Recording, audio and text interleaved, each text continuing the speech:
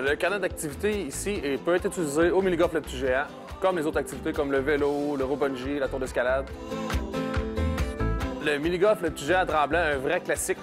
D'année en année, toujours très populaire, des jeunes aux plus vieux, tout le monde s'amuse au mini-golf. De jour comme de soir, on est éclairé, on est on ouvre de 10h à 9h.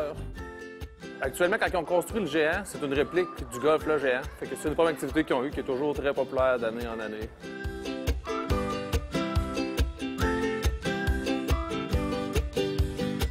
Le mini-golf, le petit géant Tremblant, un must à faire pour toute la famille.